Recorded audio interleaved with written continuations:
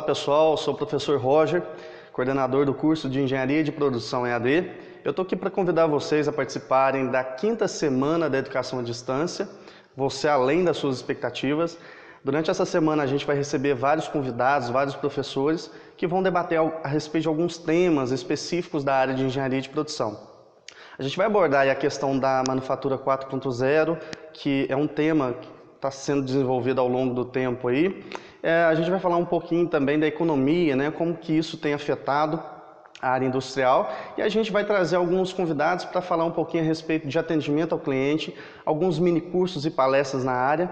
Então vai estar tá bem diversificado e interessante, ok? Fica aqui o convite, aguardo vocês.